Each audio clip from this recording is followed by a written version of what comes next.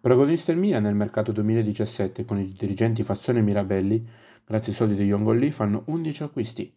Ed è celebre la frase che passerà alla storia come passiamo alle cose formali e comprano Bonucci, Kalinic, Andrea Silva, Chessy, Biglia, Cialanoglu, Musacchio, Andrea Conte, Riccardo Rodriguez, Borini e Antonio Donnarumma. Di questi 11 dopo passati 5 anni non c'è neanche più uno alla corda del Milan. La Juve compra De Sciglio, Bernardeschi, Douglas Costa e Cesni. L'Inter affida la panchina a Spalletti e compra Skriniar, Borja Valero e Vessino. Alla Roma in panchina arriva Di Francesco e compra Color e Chic, ma vanno via Rudiger e Salah che vanno a giocare in Premier League. Novità, da quest'anno tornano 4 squadre ad andare in Champions, tutti diretti, senza preliminari. E a degli arbitri di porta arriva il VAR, ovvero come diceva Biscardi, la moviola in gambo. Al debutto la Juve vince 3-0 col Cagliari e nella prima partita c'è subito il primo intervento del VAR dato rigore alla squadra sarda, parato però da Buffone. Il Napoli vince 1-3 col Verona, l'Inter vince 3-0 con la Fiorentina, il Milan vince 0-3 a Crotone, la Roma vince contro l'Atalanta per 0-1. Il Milan di 11 acquisti non ingrana e perde 3 partite nelle prime 7 giornate contro Lazio, Samp e Roma. Mentre chi comanda è il Napoli che dopo 7 giornate è a 24 punti con 7 vittorie consecutive contro Atalanta, Bologna, Benevento, Lazio, Spal e Cagliari. E a meno 2 c'è l'Inter di Spalletti e la Juve. All'ottava giornata la Juve perde 1-2 con la Lazio con doppietta di Immobile e va a meno 5 dalla vetta perché il Napoli fa 8 su 8 vincendo 0-1 contro la Roma con gol di Lorenzo Insigne. L'Inter vince il derby della Madonnina per 3-2 con la tripletta di Cardi e rimane a meno 2. Alla nona giornata primo stop il Napoli che pareggia 0-0 con l'Inter. Ne approfitta la Juve che vince con un, con un punteggio tennistico 2-6 contro l'Udinese e va a meno 3. All'undicesima giornata la Juve vince 0-2 col Milan con la doppietta di Higuain ma rimane a meno 3 dal Napoli che vince contro il Sassuolo. Alla dodicesima giornata la Juve dopo la vittoria per 2-1 col Benevento aggancia l'Inter pari contro il Toro e va a meno 1 dal Napoli che pareggia 0-0 col Chievo. La Roma vince 2-4 con la Fiorentina, il Milan vince 0-2 col Sassuolo, la Lazio vince 3-0 contro l'Udinese. Dopo due giornate Napoli 32, Juve Lazio 31, Inter 30, Roma 28.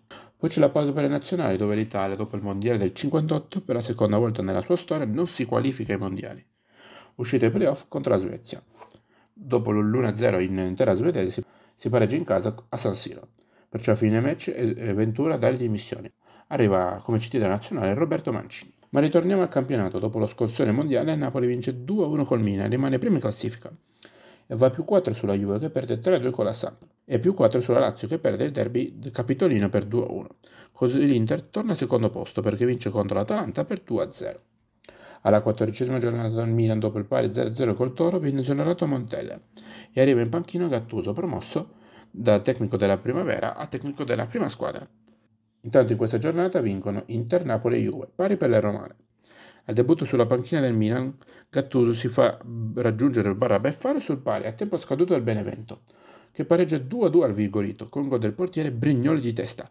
Primo punto in Serie A per il Benevento. Intanto cambia il padrone in vetta, l'Inter vince 5-0 col Chievo, mentre Napoli perde il big match con la Juve 0-1 con gol dell'ex Higuain.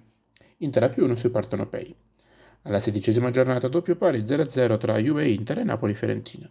Nulla cambia in vetta, intanto prima vittoria per Gattuso 2-1 contro il Bologna. Alla diciassettesima giornata cambia il vertice, l'Inter perde a San Siro 1-3 con l'Udinese, Napoli vince con lo stesso punteggio contro il Toro e torna in vetta a più 2 sui nerazzurri. La Juve vince contro Bologna, poi l'Inter in caduta libera perché perde anche col Sassuolo. E il Napoli vince va più 5 contro la Samp per 3-2. Intanto la Juve vince contro Roma per 1-0 e va al secondo posto in solitaria. Il Milan di Cattuso comunque è molto discontinuo perché perde contro Verona e Atalanta. Alla diciannovesima giornata il Napoli vince a Crotone per 0-1 con gol di Mare Kamsik e si laurea campione d'inverno. La Juve vince a Verona per 1-3, pari tra Inter Lazio e Fiorentina Milan. Al giro di il Napoli 51, Juve 50, Lazio 43, Inter 42, Roma 40. Nel mercato invernale l'Inter compra Lisandro Lopez e Rafinha, la Roma vende Emerson Palmieri. Alla ventesima giornata continua il duello in vetta dove il Napoli vince 2-0 col Verona e la Juve vince a Cagliari per 0-1. Altro pari per lì, la Roma perde contro l'Atalanta, la Lazio vince 2-5 con la Spal, il Milan vince 1-0 col Crotone col primo gol in rosso-nero in campionato di Leonardo Bonucci. Dalla ventunesima alla ventiseiesima giornata Juve e Napoli fanno 6 vittorie consecutive, entrambe perciò tutto rimane invariato in vetta. Il Milan si rialza vincendo contro Lazio, Sampo e Roma e si porta in zona Europa, altalenante il percorso dell'Inter. Alla ventisettesima giornata la Juve vince l'Olimpico 0-1 contro Lazio con gol di Dybala e va più 2 sul Napoli, che perde 2-4 con la Roma.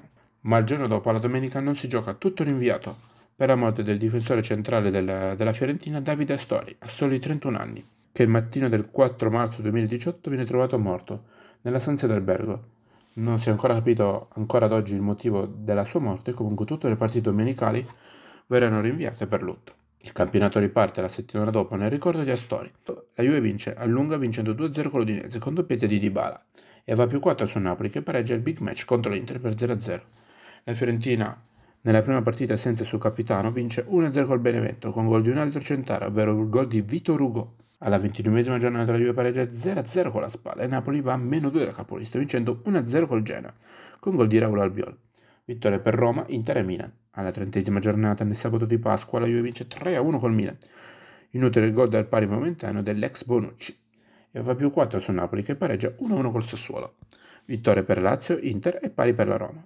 Alla 32esima giornata la Juve vince 3-0 con la Samp e va, va più 6 sulla Napoli, fermato sul pari 0-0 col Milan. Al Meazza, pari 0-0 anche nel derby capitale e tra Inter e Atalanta. Dopo 32 giornate, Juve 84, Napoli 78, Roma e Lazio 61, Inter 60, Milan 53.